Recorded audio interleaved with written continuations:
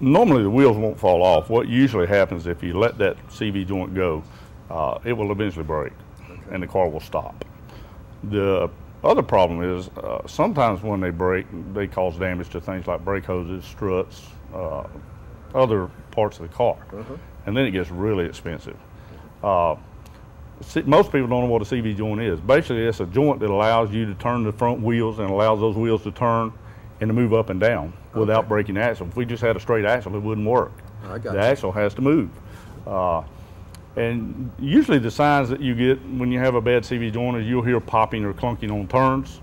Uh, you may even get uh, vibrations on acceleration that go away when you let off the gas. That's a good sign that you got an inner CV joint that's going bad.